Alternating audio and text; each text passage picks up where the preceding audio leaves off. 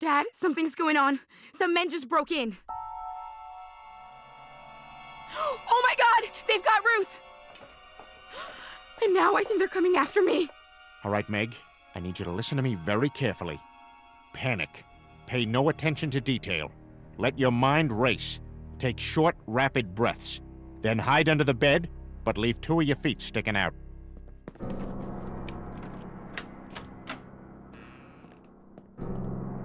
Oh my god, Dad. Are they gonna take me? I'm so scared.